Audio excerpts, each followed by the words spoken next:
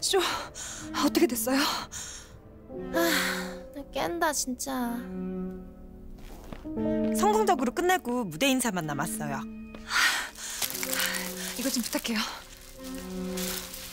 아, 유라 씨 어떻게 된 거예요, 수현 씨? 차에 갇혔었어요. 설명은 나중에 할게요. 바톤 체인지 해야겠네요. 아, 고마워요.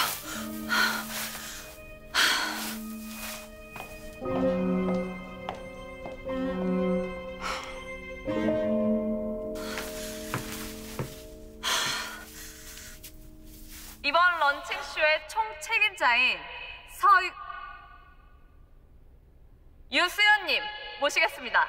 나와주세요.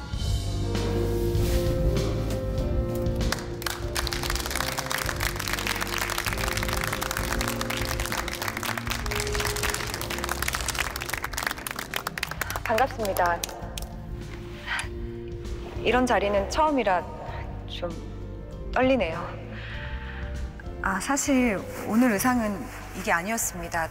여러분들께 좋은 모습으로 보여드리려고 준비한 옷이 있었는데 보시다시피 너무 엉망이죠.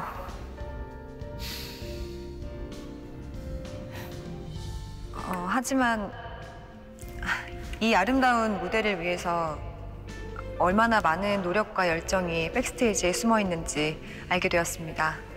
진심으로 행복했습니다. 어, SA그룹 회장님이신 저희 어머님께 진심으로 감사드립니다.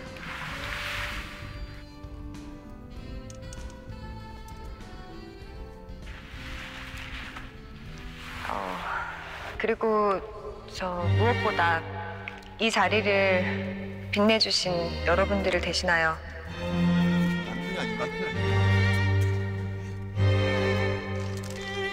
진심으로 감사합니다.